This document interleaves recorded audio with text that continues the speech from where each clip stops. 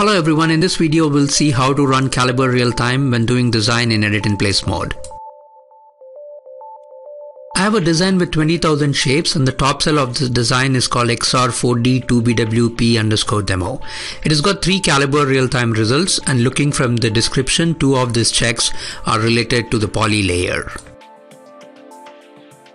Now I select one of the poly check name and highlight the error and from the tooltip description this looks like a poly end cap error.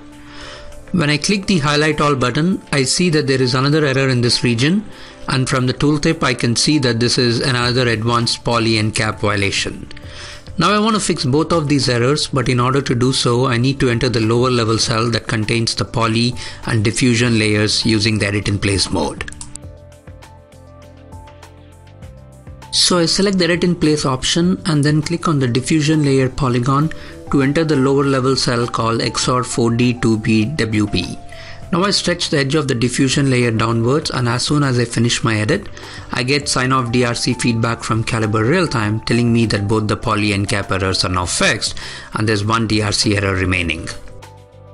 Although I have used edit in place mode to enter a lower level cell, Calibre RealTime reports the errors in the context of the top level cell that was first opened.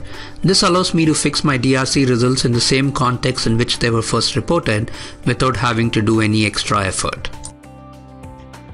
I will now move back up to the top level cell saving my lower level cell and continue with my layout design process at the top level using Calibre RealTime to catch and fix any sign of DRC errors created in the process.